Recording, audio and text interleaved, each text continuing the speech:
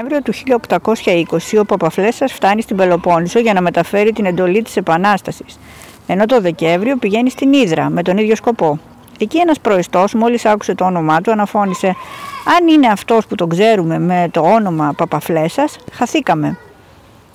Οι αποβάσεις τους συνεχίστηκαν και μια νύχτα στις αρχές του Ιανουαρίου έφτασε στην Αργολίδα και από εκεί στο Αίγιο, όπου δημιουργώντας ένα ευρύ κύκλο οπαδών μίλησε ανοιχτά πλέον για την εξέγερση.